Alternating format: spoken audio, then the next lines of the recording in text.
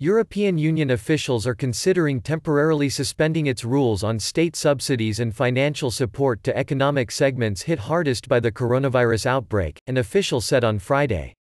Eurozone growth is likely to be slower this year than the 1.2% forecast just last month because of the effects of the virus epidemic, the European Commission said in an internal preliminary assessment. In addition to measures adopted by EU states to safeguard growth, the EU is considering targeted measures for sectors most in need, which include tourism, transport and carmakers.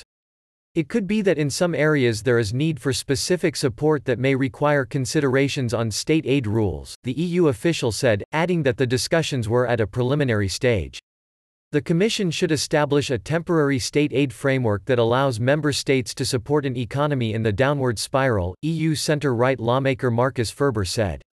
It should use as blueprint its response to the 2008-09 global financial crisis, he said. The EU suspended parts of its state aid framework during the crisis to allow governments to bail out banks.